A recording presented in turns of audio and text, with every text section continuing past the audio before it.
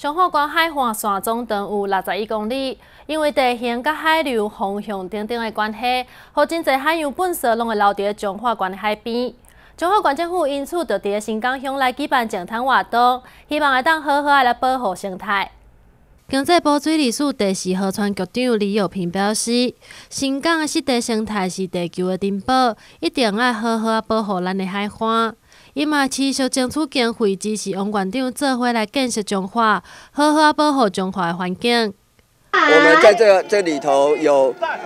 有这个保特瓶、渔网，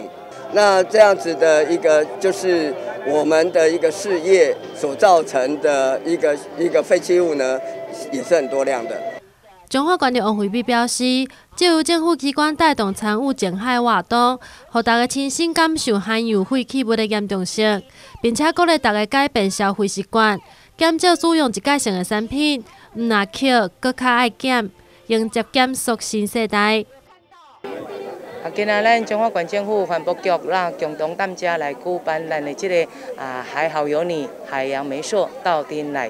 就这个近海哦，那这个地区是我们的这个新的一个观光景点，就是我们俗称的白色海豚屋哦。那它的这个附近呢的这个海岸线呢是非常棒，往外看去你可以看到我们最大的一个保护地哦，这个也是亚洲级的一个保护湿地哦。那我们希望说透过大家。啊的一个活这样的一个活动，唤醒大家都能够一起来减速爱地球哦，那来来爱护我们的海洋。那毕竟我们有很多的这个啊海洋的一个动物啊，啊因为呢误食了我们的呃塑化类的东西哦，那塑胶类的东西导致说它们死亡哦。那我们希望说透过大家的一个这个近海，那能够让我们的这些海底的底栖物，它们能够有更好的环境。当然相对的啊就不会有更多。的这些啊有害物质来危害我们哦，那大家一起来这个减速，爱地球，爱海洋。